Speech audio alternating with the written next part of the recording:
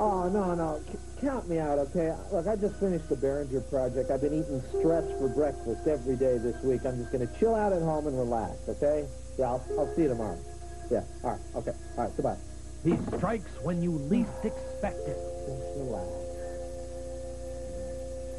Never relax, never relax, never relax, never relax. What about the brakes on your old Honda? What about that mayonnaise and the tuna fish sandwich you had for lunch?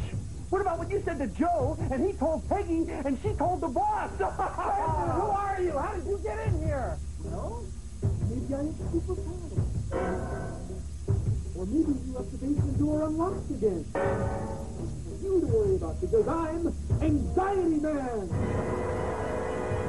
A terrifying demon from the scary, icky, slimy, gruesome depths of your brain.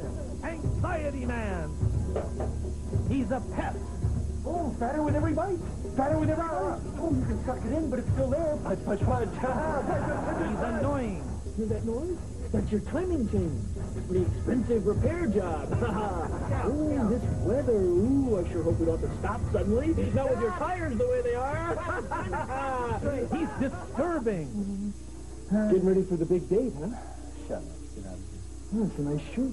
Of course, it better be nice to draw her attention away from that head. Hey, there's nothing wrong with my head. Oh, no, it's nice and smooth. Get out of here. A guy with a head like that ought to have something to make up for it. But I guess we both know you come up a little short in that department. Shut up, I do not. Oh, yeah, I sure hope you don't have that little problem you had last time. Right, look, that only happened once. It was because I was really drunk, and it, it has nothing to do with me. Oh, nothing to do with me. sure, It has sure, sure, nothing sure, to do sure, with sure, me. sure, sure, sure. He's downright awful. No, no, no. I've just been under a lot of stress lately. Yes, I guess you have. I'm very stressed. You should be worried. You know, I don't think either one of you will ever find a satisfying sexual relationship. You know, you're a pretty unattractive gal, really, if you stop and think about it. And you, of course, you're just a loser, aren't you? He can't be stopped. He can't be killed. He just won't don't think you're going to get any sleep at all. Look at that ceiling. Stare at it. Stare at it. Anxiety Man.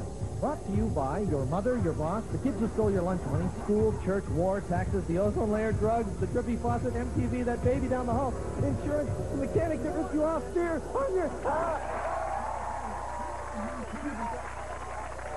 Okay, stay with us. Bill Nye, the science guy,